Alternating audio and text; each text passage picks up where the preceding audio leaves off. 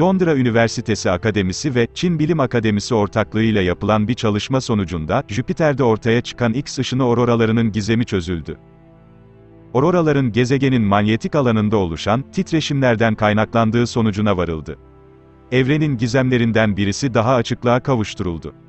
Bilim insanları, onlarca yıldır çözülememiş bir gizem olan, Jüpiter'in nasıl sabit bir şekilde, X ışınlarından oluşan auroralar oluşturduğunu sonunda çözdü. X ışınları, yüklü iyon parçalarının gezegenin atmosferiyle etkileşime girmesiyle tetiklenen, görünen ve görünmeyen ışık patlamalarının, bir parçası olarak ortaya çıkıyor. Benzer bir durum, kuzey ülkelerinde de soğuk aylarda görülen, aurora borealis yani kuzey ışıkları olarak dünyada da görülüyor. Ancak Jüpiter'in auroraları, yüzlerce gigawatt enerji ortaya çıkarması nedeniyle, dünyanınkinden çok daha güçlü.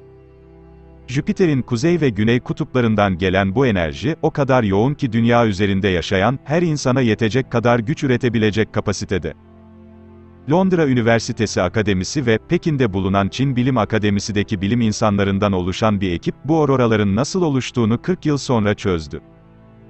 Bilim insanları, X ışınlarının, Jüpiter'in kuzey kutbundan güney kutbuna uzanan, dikey döngüler halinde gezegeni çevreleyen, manyetik alan çizgilerinde oluşan düzenli titreşimlerle, tetiklendiği sonucuna vardılar.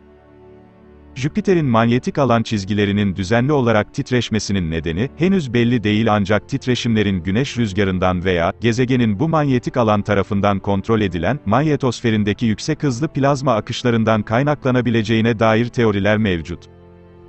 Jüpiter'in manyetosferinin dünyanınkinden yaklaşık 20 bin kat daha güçlü olduğu biliniyor.